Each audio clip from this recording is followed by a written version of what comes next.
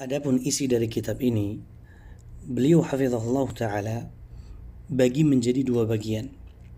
Bagian pertama, beliau membahas tentang kepribadian dan tuntunan Nabi Muhammad sallallahu alaihi wasallam dan bagian yang kedua, beliau membahas secara khusus tentang sejarah hidup Rasulullah sallallahu alaihi wasallam. Dalam bagian pertama ini, beliau bagi tulisan beliau menjadi empat bab.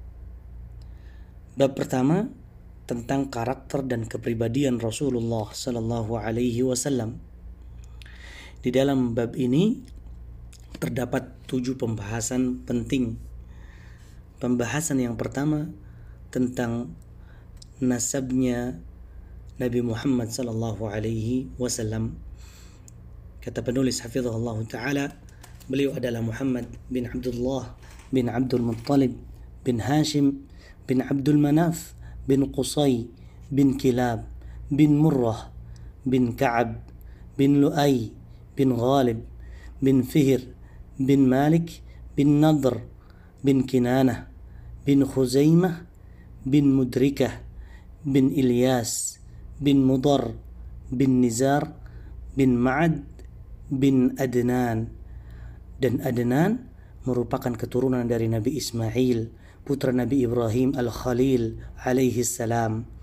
Beliau sallallahu alaihi wasallam merupakan sosok manusia yang memiliki garis keturunan termulia di atas muka bumi ini sebagaimana telah ditegaskan dalam sebuah hadis bahwa Heraklius seorang raja Romawi mengatakan kepada Abu Sufyan radhiyallahu an Aku telah bertanya kepadamu tentang kedudukan nasabnya. Maksudnya adalah nasab Rasulullah sallallahu alaihi wasallam.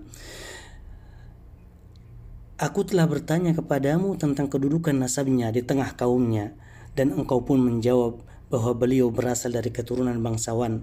Seperti itulah para rasul mereka diutus dari keturunan yang termulia di tengah kaumnya.